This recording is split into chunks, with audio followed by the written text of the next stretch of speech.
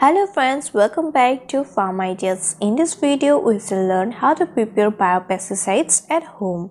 Biopesticides plays an important role in managing the major insect pest that attacks our crop plants.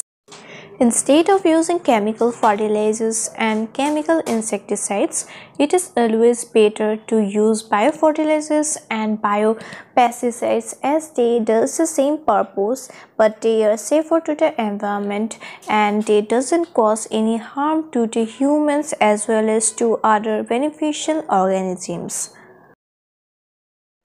In this video, we shall learn how to prepare biopesticides using commonly available medicinal plants like neem.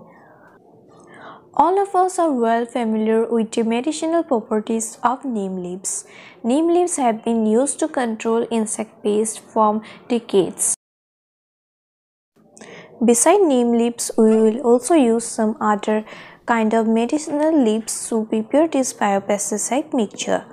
Beside neem leaves, so the other plants that we will use for preparing this biopesticide is one is doot. So I am not aware of the scientific name of this plant, but you can see as how it looks.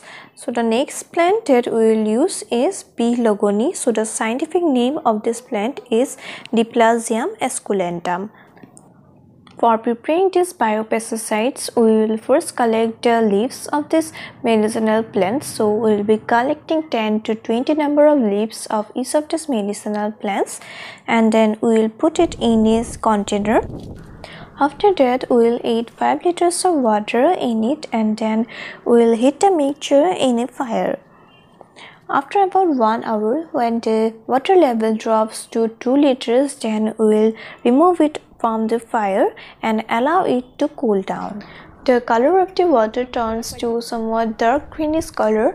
We need to remove the leaves from the mixture and then we can put this mixture in a sprayer and we can spray in the crops and this will help to prevent any kind of pest attacks and it is very very easy to prepare as you can see the method is very simple and you can easily prepare these pesticides at home so instead of using chemicals we can easily prepare pesticides and used to control insect attack to our cropland so this is all about how to prepare biopesticides at home.